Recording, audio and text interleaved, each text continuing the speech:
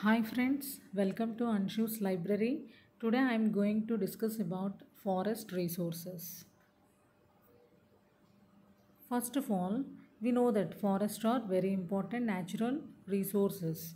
Uh, and uh, these uh, forests are act as green blanket green, green blanket to the earth surface which produce number of commercial goods not only commercial goods they also provide number of environmental services which are very essential for life which are very very essential for life and మనకి మెయిన్గా మనం గుర్తుంచుకోవాల్సింది exam point of వ్యూలో forest అనేవి రెన్యూబులా non renewable resources అని అడిగినట్లయితే forest are renewable resources the first topic in forest resources is uses of forest what are the uses of forest we know that there are two types of uses. The first one is commercial use and the second one is ecological use or environmental use commercial use. We know that forests provide a large number of commercial goods like timber firewood pulpwood pulp wood నుంచి మనం paper అనేది తయారు చేయడం జరుగుతుంది. And అలాగే number of food items edible oils and non edible oils. So many more items అనేవి we are extracted from forest regions.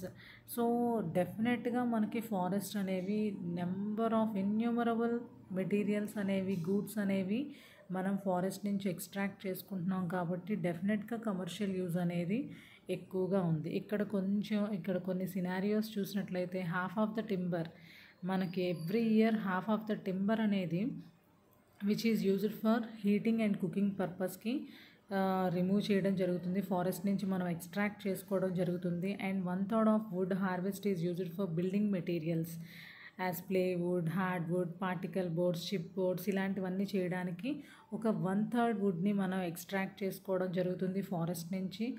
అలాగే one sixth of the wood harvested is converted into pulp and used for paper industries and we know that uh, and beside all these uh, uses we know that many forest lands are used for mining mineral extraction కోసం mining అనేది జరుగుతుంది. And and recent ఇయర్స్లో hectares of forest lands are converted into agricultural lands to meet the demand of food food డిమాండ్ని decrease చేయడం కోసం forest ల్యాండ్స్ని agricultural lands లాగా convert చేయడం జరుగుతుంది. అలాగే grazing activities and development of dams so these are all the commercial benefits and coming to the ecological uses these are very very important ex ecological uses just look at this sentence uh, while a typical tree produce commercial goods worth about 590 dollars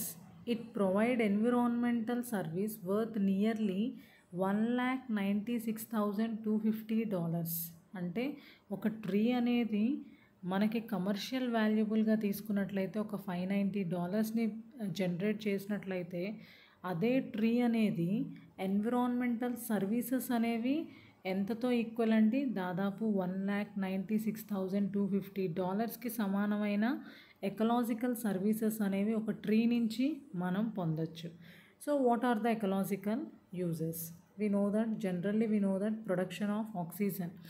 the trees produce oxygen by photosynthesis which is very very vital for living organisms so these forests are rightly called as earth lungs అంటారు again exam point of వ్యూలో earth lungs అనగానే బ్లైండ్గా మనకి forest resources అనేవి గుర్తుకు రావాలి and the next one is reducing global warming We know that the main greenhouse gas is carbon dioxide so ఎక్కువగా అడవుల్లో చెట్లు అనేవి ఉండడం వల్ల ఆ కార్బన్ డైఆక్సైడ్ అనేది అబ్జార్ప్షన్ జరుగుతుంది due to the process of photosynthesis so డెఫినెట్గా కార్బన్ డైఆక్సైడ్ ఎప్పుడైతే అబ్జార్బ్ అయిపోయిందో గ్రీన్ హౌస్ గ్యాస్ అనేది డిప్లీట్ అవుతుంది. సో కొంతవరకు మనం గ్లోబల్ వార్మింగ్ని రెడ్యూస్ చేయొచ్చు. And the next use is wildlife habitat these forest provide home for millions of species. For millions of plants and millions of animal స్పీసీస్కి forest అనేవి ఒక హ్యాబిటేట్ని అంటే ఒక లివింగ్ ప్లేస్ని ప్రొవైడ్ చేస్తున్నాయి. సో వైల్డ్ లైఫ్ హ్యాబిటేట్ అనేది కూడా మనకి ఎగ్జిస్ట్ అవ్వాలి అని అంటే డెఫినెట్గా ఫారెస్ట్ అనేవి మనకు ఉండాలి. అండ్ అలాగే the next use is regulation of hydrological cycle so hydrological cycle అనేది అంటే మనకి ఎప్పుడు కూడా రెయిన్ఫాల్ అనేది టైంలో టైంకి అంటే సీజనల్ రెయిన్ఫాల్ కావచ్చు whatever it is yearly annual rainfall అనేది మెయింటైన్ అవ్వాలి అని అంటే డెఫినెట్గా ఫారెస్ట్ కవర్స్ అనేవి మనకి ఉండాలి.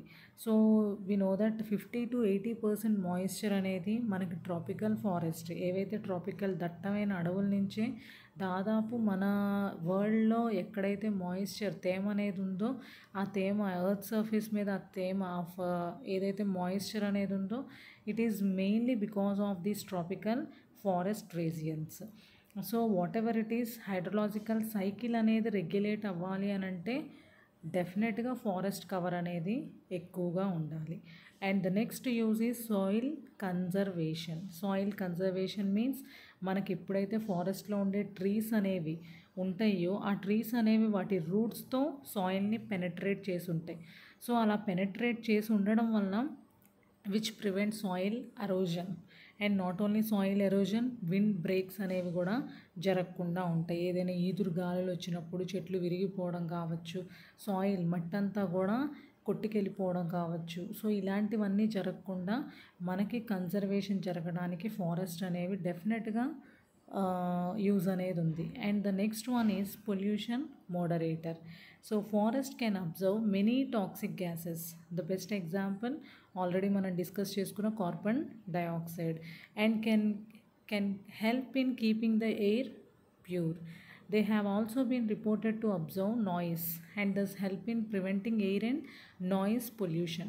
So ఇక్కడ ఒక ఫారెస్ట్ అనేవి they also act as pollution moderators not only observe toxic gases but also prevent noise pollution so noise pollution అనేది కూడా రెడ్యూస్ అవుతుంది. సో ఎలా రెడ్యూస్ అవుతుంది?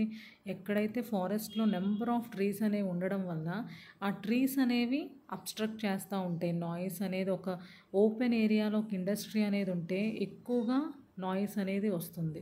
అదే కనుక అదే ఏరియాలో సరౌండింగ్ మొత్తం కూడా ట్రీస్ అనేవి ఉంటే these trees are obstruct that noise నాయిస్ని ఆపు కొంతవరకు ఆపగలుగుతాయి so it it leads to reduce the noise pollution so these are some of the ecological uses.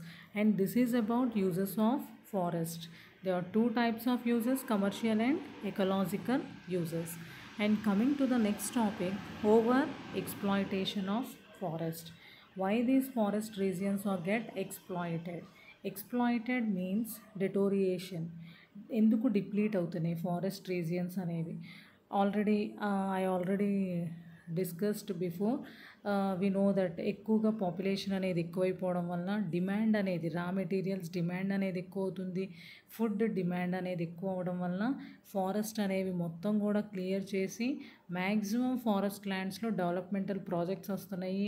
And forest lands are cleared and seemed to converted into agricultural lands so this is the reason for exploitation of forest forest అనేవి exploit అవ్వడానికి main reason the next topic is deforestation what is meant by deforestation we know that deforestation అంటే ఫారెస్ట్లో ఉండే trees మొత్తాన్ని కూడా remove చేయడాన్ని మనం deforestation అంటాము. అంటే కొంతవరకు ఏ ఏరియా అయితే సెలెక్ట్ చేసుకున్నారో ఆ ఏరియాలో ఉండే ట్రీస్ మొత్తాన్ని రిమూవ్ చేయడాన్ని డీఫారెస్టేషన్ అంటాము.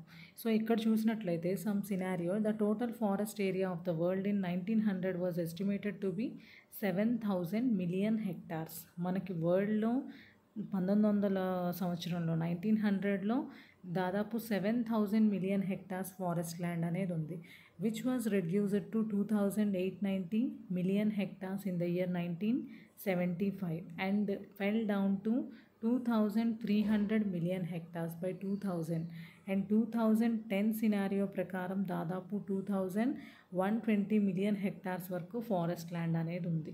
సో ఇక్కడ ఏంటంటే సినారియో చూసుకున్నట్లయితే కొంతవరకు మన ఇండియాలో కావచ్చు త్రూ అవుట్ ద వరల్డ్ కావచ్చు కొంతవరకు ఫారెస్ట్ డీఫారెస్టేషన్ అనేది కొంతవరకు రెడ్యూస్ అయిందని చెప్పుకోవచ్చు. స్టెబిలైజ్డ్గా ఉంటుంది ఫారెస్ట్ ల్యాండ్స్ అనేవి because of nineteen eighty two నుంచి మన ఫారెస్టేషన్ ప్రోగ్రామ్స్ అనేవి ఎక్కువగా చేయడం వల్ల యాజ్ పర్ ఎఫ్ఏఓ ఎస్టిమేషన్స్ ప్రకారం మనకి ఫారెస్ట్ కవర్ అనేది స్టెబిలైజ్డ్గా అంటే మెయింటైన్ అవుతుంది.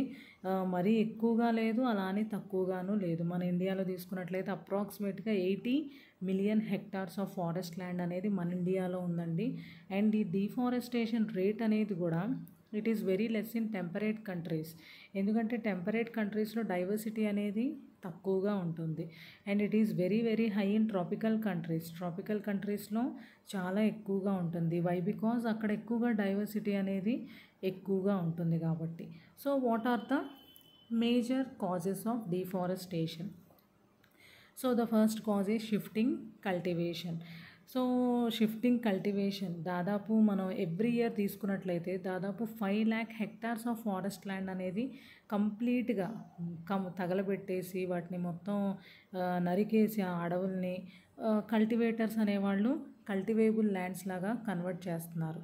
మన ఇండియాలో తీసుకున్నట్లయితే north east region north east region and Andhra Pradesh Bihar Madhya Pradesh north east regions అంటే అస్సాం కావచ్చు మేఘాలయ మిజోరాం ఇలాంటి స్టేట్స్లో అండ్ అలాగే మనకు ఆంధ్రప్రదేశ్లో బీహార్ అండ్ మధ్యప్రదేశ్లో తీసుకున్నట్లయితే every year half of the forest region అనేది కంప్లీట్గా క్లియర్ చేస్తున్నారు. ఎలా అంటే దాన్ని తగలబెట్టి కావచ్చు వాటిని చెట్లను నరికేసి కావచ్చు కల్టివేబుల్ ల్యాండ్స్ లాగా కన్వర్ట్ చేస్తున్నారు. So this is one of the cause for deforestation and the next cause is fuel requirements we know that due to the increasing of population increasing the demand of fuel fuel wood అనేది demand అనేది increase అవుతుంది. So increase అవ్వడం వల్ల it increases the pressure on forest forest trees మీద pressure అనేది increase అవుతుంది.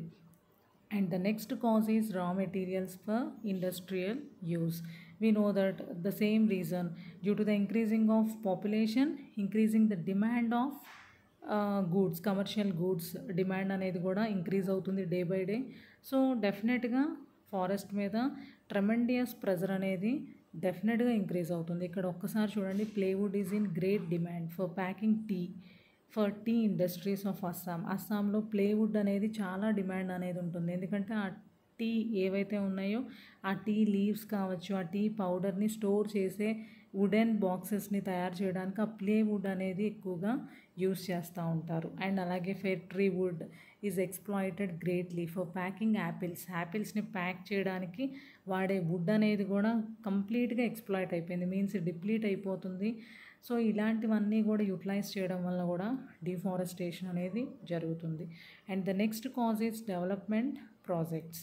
Massive destruction of forest occur for various developmental projects we know that now డేస్లో ఎక్కువగా hydro electric projects and big dams road constructions mining these are all developmental activities వీటన్నిటి వల్ల కూడా massive destruction forested regions అనేవి మ్యాసివ్గా destruct అవుతున్నాయి. So this is one of the cause and the next one is growing food needs so we know that India is a developing nation so ఇక్కడ deforestation rate అనేది చాలా ఎక్కువగా ఉంటుంది.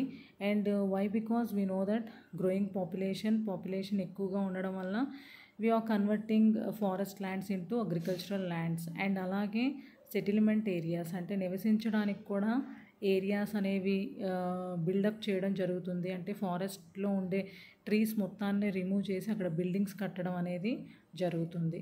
So it leads to deforestation. And finally overgrazing. Overgrazing అంటే we know that అండి. Over grazing అంటే ఇక్కడ మనకి మెయిన్గా ఏవైతే ఫారెస్ట్ ల్యాండ్స్ అనేవి డిఫారెస్టేషన్ జరుగుతాయో ఆ డిఫారెస్టేషన్ జరిగిన ఏరియాస్లో మెయిన్గా గడ్డి గ్రాస్ అనేది గ్రోనప్ అవుతూ ఉంటుంది. ఫాడర్ అనేది వస్తూ ఉంటుంది. So these overgrazing by cattle. It leads to further degradation of land. ఇంకా ల్యాండ్ అనేది అసలు ఫారెస్ట్ అనేవి డిఫారెస్టేషన్ జరిగితేనే డిగ్రడేషన్ స్టార్ట్ అవుతుంది. ఇంకా దాని మీద గ్రాస్ అనేది గ్రోనప్ అయినప్పుడు వాటిని కంప్లీట్గా ఈ క్యాటిల్స్ అనేవి గ్రేజింగ్ చేయడం వల్ల ఫర్దర్ డిగ్రడేషన్ అనేది ల్యాండ్ అనేది కంప్లీట్గా డిటోరియేట్ అవుతుంది. So this is also one of the cause for deforestation. And finally what are the consequences? Major consequences of deforestation. So ఇక్కడ డిఫారెస్టేషన్ జరగడం వల్ల the first cause is it it threatens to existence of species. Wildlife స్పీసీస్కి ఒక habitat అనేది డెఫినెట్గా loss అవుతుంది. So loss అయినప్పుడు biodiversity both plants and animals అనేవి loss అవుతాయి. And the next one is hydrological cycle. Get affected there by influencing rainfall మనకి ఎప్పుడైతే hydrological cycle అనేది ఎఫెక్ట్ అయిందో రెయిన్ఫాల్స్ అనేవి కరెక్ట్ టైంకి రావండి. ఇప్పుడు సీజనల్గా ఏవైతే కరెక్ట్ సైక్లింగ్లో జరిగే రెయిన్ఫాల్స్ అనేవి డెఫినెట్గా ఇర్రెగ్యులర్ అవుతాయి.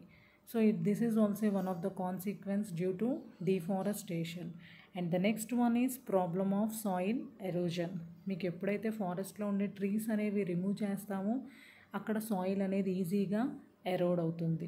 సాయిల్ అనేది ఎప్పుడైతే ఎరైడ్ అయిందో it leads to decrease of soil fertility. Soil fertility అనేది కూడా లాస్ అవుతుంది. And finally in hilly areas hilly ఏరియాస్లో కనుక deforestation జరిగినట్లయితే it leads to landslides landslides అనేవి కూడా జరిగే ఛాన్సెస్ ఉన్నాయి.